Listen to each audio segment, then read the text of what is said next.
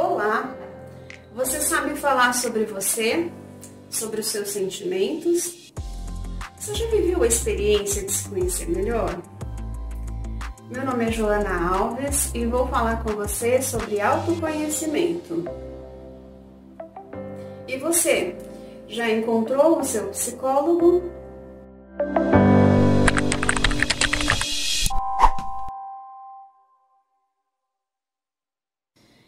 Se deparou com alguma situação em que você não sabe o que está sentindo exatamente? Eu acredito que todos nós já passamos por isso em algum momento.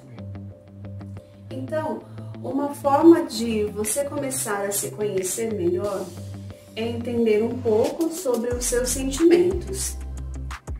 Os sentimentos, eles são a maneira como nós nos percebemos é a forma como reagimos ao mundo, ao que nos cerca. Sem sentimentos, nós não existimos, não há vida. É através dos sentimentos que nos relacionamos conosco mesmos.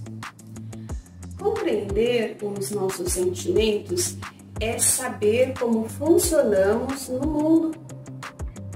Quando não temos consciência dos nossos sentimentos, nós não temos uma real consciência de nós.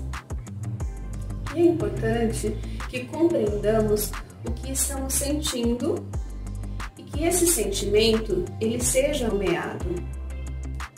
O nome desse sentimento é você quem dará a partir do contato que terá consigo mesmo. Esse nome pode ser raiva, amor, inveja, alegria, enfim, qualquer outro sentimento. E quando compreendemos os nossos sentimentos, temos a chave para o domínio de nós mesmos. Quando eu me responsabilizo pelos meus sentimentos, eu também me responsabilizo pelo meu mundo. O fato de eu aceitar, me responsabilizar por, por meus sentimentos, faz com que eu coloque em ordem o meu próprio mundo emocional. Quando há ameaça de dano emocional, a nossa primeira reação e uma reação muito natural é evitá-lo. Com isso, a nossa liberdade fica comprometida. E como aprendemos a ser? É através dos sentimentos, do permitir que eles surjam e do nomeá-los que vamos nos percebendo no mundo e entrando em um autoconhecimento. O autoconhecimento, por sua vez, significa estar consciente de quem você é na sua essência. Trata-se de uma reconexão com um mundo que não é novo, mas que em algum momento caiu em desuso ele começa lá na reflexão sobre os padrões deixados por nossos familiares e pessoas com quem interagimos durante o nosso desenvolvimento. O objetivo de se iniciar o autoconhecimento é o de ampliar a nossa consciência, isso é importante. Não se muda o que não se conhece, não é mesmo? Quem não se conhece não tem clareza para saber o que gosta e deseja realmente para a sua vida. O autoconhecimento aproxima você de você mesmo para encontrar a sua melhor forma de ser e estar no mundo.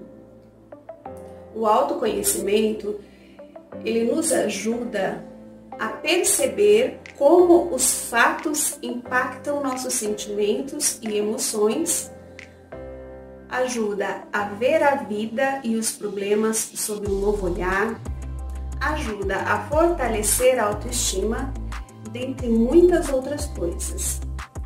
E não se preocupe se no decorrer do contato com seus sentimentos você sinta um desconforto pois é através desse desconforto que se abre uma porta para a sua evolução, para o seu crescimento, para a sua liberdade. E você também pode pedir ajuda para lidar com esse desconforto. Se permita viver a experiência do sentir.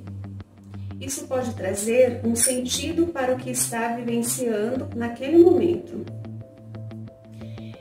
E eu termino com uma frase de William Shakespeare que diz: todos os conhecimentos possíveis, o mais sábio e útil é o conhecer a si mesmo. Linda frase, não é? Eu espero que eu tenha conseguido te ajudar com o conteúdo deste vídeo. Eu te convido a se inscrever aqui no nosso canal para que você possa acompanhar mais conteúdos. Caso você queira conhecer mais sobre meu trabalho, os meus dados estão na descrição deste vídeo.